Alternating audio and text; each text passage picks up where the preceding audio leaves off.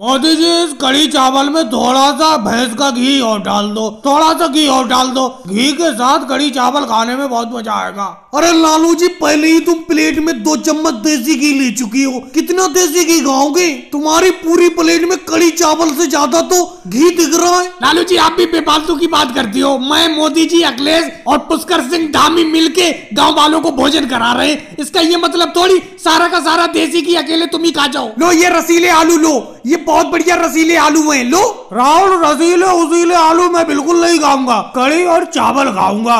अखिलेश से अभी थोड़ी कड़ी और लूँगा और मोदी जी से थोड़ा सा देसी घी और लूँगा। देसी घी के बगैर कड़ी चावल मुझे बिल्कुल अच्छे नहीं लगते। अरे लालू जी, खाने वाले तो और भी लोग हैं। अगर आपको देसी घी के बगैर कड़ी चावल पसंद नहीं है तो देसी घी अपने घर से ले आते। अरे यहाँ पे हम लोग सब लोगों को खाना खिला रहे हैं। तो इसका ये मतलब थोड़ी सारा का सारा देसी घी अकेले तुम खा जाओ। देख रहे हो, ये छोटी सी कटोरी में तो देसी घी है। इतने देसी घी को सब लोगों को खिलाना है। तो मोदी जी, सब लोगों को देसी घी खिलाना है। मैं भी तो खाना खाने के लिए आया हूँ। आप पुण्य का काम कर रहे हो अच्छा काम कर रहे हो। गाँव के लोगों को कड़ी चावल और रसीले आलू खिला रहे हो। तो कम से कम मन से तो खिलाओ। अब सारा का सारा देसी घी मुझे दे दो। बिना देसी घी के मैं चावल नहीं खाऊँगा। अरे लालू जी, इधर आइए इधर आइए। कड़ी आपको और देता हूँ। कड़ी चावल तो आपको पसंद है। लो, और कड़ी चावल ले लो। लो, आओ। अगले कड़ी चावल तो पसंद है। लेकिन देसी घी के बगैर कड़ी चावल पसंद नहीं है। देसी घी तो मैं और लूँगा मोदी जी से। पुष्कर सिंह धामी जी, अखिलेश ने प्लेट में कड़ी बहुत ज़्यादा डाल दी। थोड़े से चावल दे दो। लालू जी, आप जितने चाहे उतने चावल ले लो। चावल की कमी नहीं है। ना ही कड़ी की कमी है, ना ही रसीले आलू की कमी है। देसी घी की कमी है। आप मोदी जी से देसी घी ज़्यादा मत मांगो। अरे आप सब लोग तो ऐसे कर रहे हो जैसे मैंने कितना देसी घी खा लिया। अरे दो चम्मच मुश्किल से मोदी जी से देसी घी खाया होगा मैंने। मोदी जी, बस एक चम्मच देसी घी और दे दो। उसके बाद आराम से प्लेट ले जाके शांति में बैठ के खाऊँगा। एक चम्मच देसी घी और दे दो बस। लो लालू जी, बिना देसी घी लिए मानोगे नहीं तुम। जाओ, ये देसी घी देता हूँ तुम्हें। आराम से बैठ के खाओ। और भाई लोगों को वीडियो को लाइक करो, चैनल को सब्सक्राइब करो।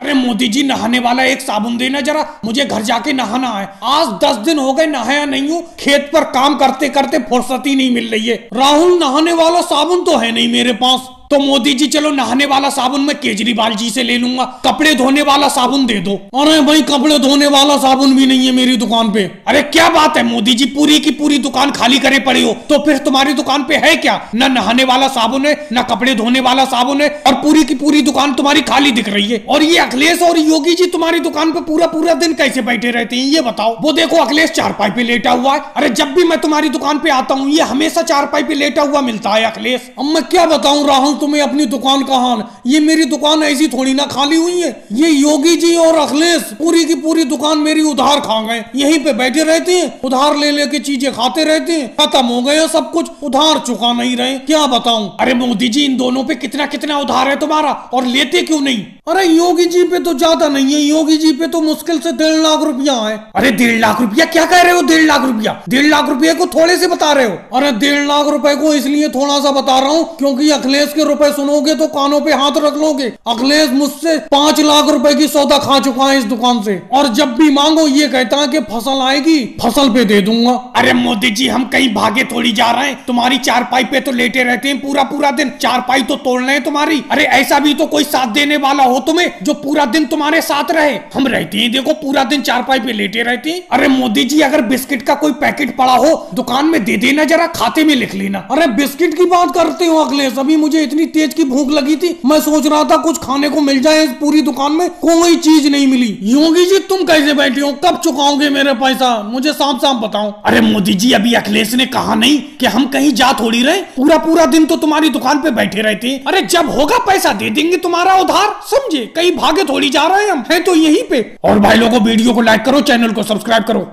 लालू जी, इतनी उम्र हो गई, लेकिन इतनी सर्दी पड़ते मैंने गाँव में कभी नहीं देखी। हाथ ठंड के मारे काँप रहे हैं, बिल्कुल कोई काम नहीं कर पा रहा हूँ अपने हाथों से। इतनी ठंड है। अच्छा लालू जी, आप ही बताओ, इतनी ठंड पड़ते आपने कभी देखी? और ये कैसी हल्की आग जला रहे हो? आग को तेज करो, ठंड भागी नहीं रही बिल्कुल। अरे, क्या बात करते हो मोदी जी, आप भी? ठंड के कोई पैर हैं जो भागेगी? आपको शायद ध्यान नहीं है मोदी जी, इतनी ठंड एक बार और पड़ चुकी है 1990 के दशक में। उस टाइम पे एक हफ़्ते की बड़ा कड़ाके की ठंड पड़ी थी। लोग आग के पास बैठे रहते थे। नहीं लालू जी, इतनी ठंड फिर भी नहीं पड़ी होगी उस टाइम पे। जितनी ठंड इस टाइम पे पड़ रही है। देख रहे हो, पूरा हफ़्ता होने को जा रहा है। मैं मजदूरी करने के लिए नहीं गया हूँ। आग के पास यूँ ही बैठा रहता हूँ। अरे अखिलेश, कहाँ घुसे जा रहे हो बीच में? थोड़ा हटके को ना बैठो उधर को, योगी जी की तरफ़। उधर काफ़ी जगह है। अरे राहुल, पूरे चार आदमियों की जगह घेर के बैठे हो और मुझसे कह रहे हो कि हट के बैठो।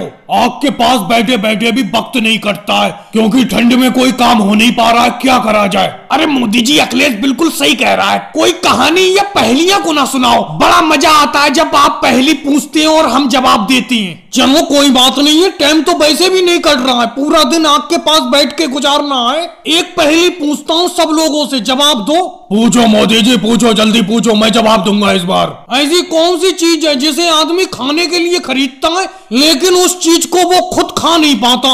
अरे, इस पहली का जवाब तो बहुत ही आसान है। लालू जी, तुम जवाब मत दो, मैं देता हूँ। वो चीज़ करेला है करेला, जिसे मैं खाने के लिए तो खरीदता हूँ लेकिन घर जाके मैं उसे खा नहीं पाता। अखिलेश कैसा बेतुका जवाब देती हो? अरे तुम करेला नहीं खा पाते हो, दूसरे लोग तो खाते होंगे। मैंने तुमसे पूछा, उस चीज़ का नाम बताओ, जिसे आदमी खाने के लिए खरीदता है, लेकिन खा ही नहीं पाता। मेरे बिल्कुल दिमाग में नाम है, लेकिन जवान पे नहीं आ पा रहा है। ऐसी कौन सी चीज़ है? अरे योगी जी, आप ही बताओ।